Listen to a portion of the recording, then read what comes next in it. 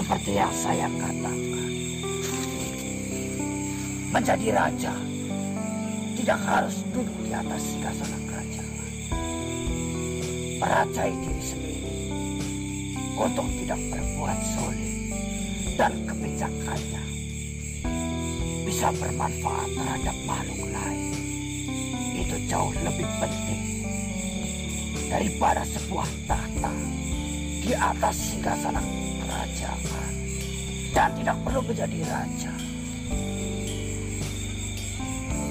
Agar kau bisa bermanfaat bagi orang lain. Bagi makhluk lain.